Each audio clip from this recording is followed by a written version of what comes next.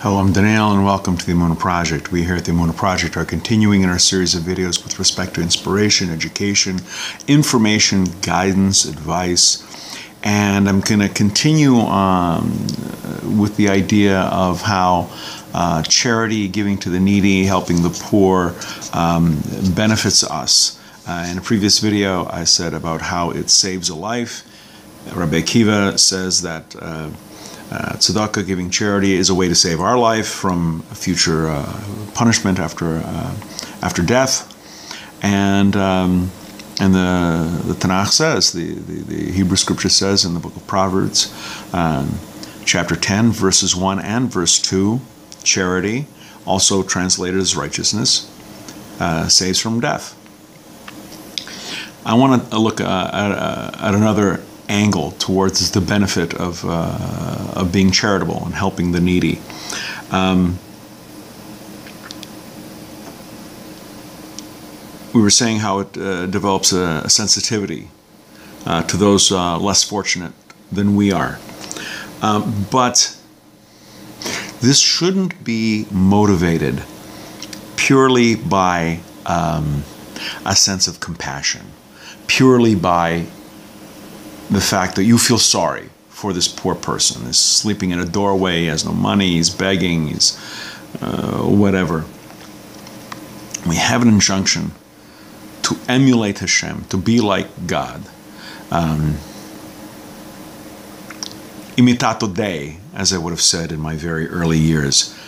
In Hebrew, Mahu Rachum, Af Ato Rachum. As God is compassionate, as He is compassionate, so too you be compassionate, you be merciful. Um, that should be the overriding um, force that evokes our sensitivity. Um, Hashem's uh, mercy, His uh, compassion, isn't based on emotions and on sentimentality the way perhaps ours is. Um, we need to be stirred by the words of God, the words of the Torah. And the Torah compels us commands us to be sensitive, uh, uh, to have compassion, to help the needy, to, to, to, feed the poor, to clothe the naked, to, to, to, to fight for the widow, to fight for the orphan. And um, in this sensitivity, we perhaps can share, get a little glimpse, a little insight um, into uh, their pain, their suffering, their anguish. We need to to connect on that level. It makes us literally better people. Um,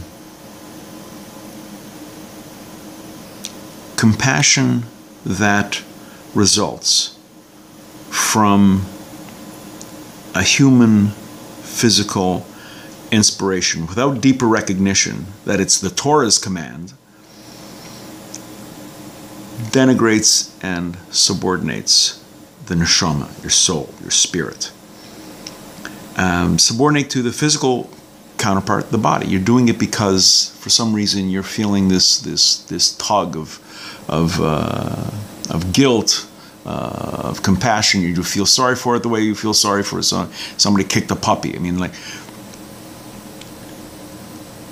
do it because not only are you obeying the word of God, but by so doing, you're emulating, emulating Hashem. You're being a bit like God, in that God takes care of the needy in His own way. We, we say in our prayers, um, "Thank God who has provided us uh, with our every need."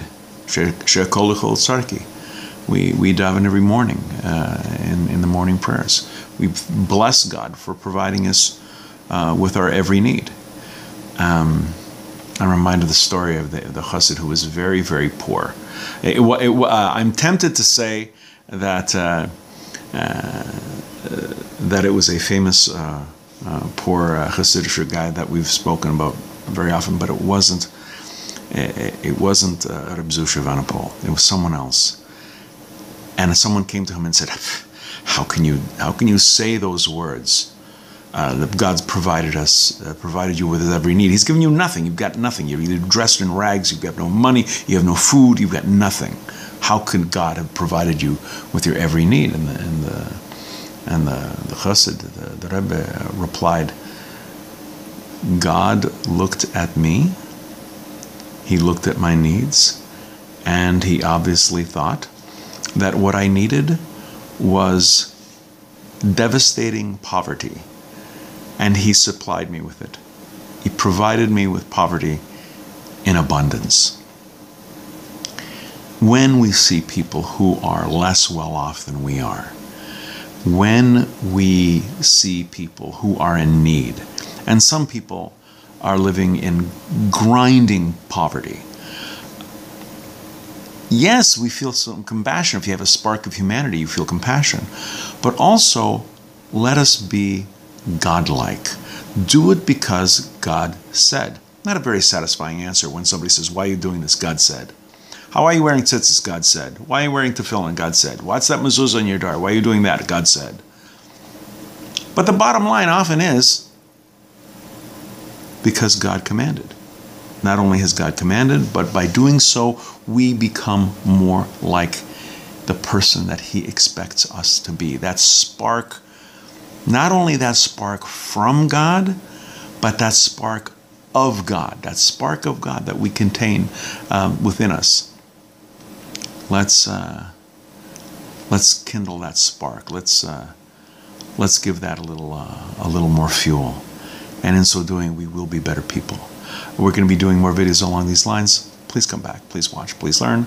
I hope you're finding them of, uh, of some use. I hope you're finding them inspiring. And until next time, on behalf of the Emunah Project, I'm Daniel, and thank you too much.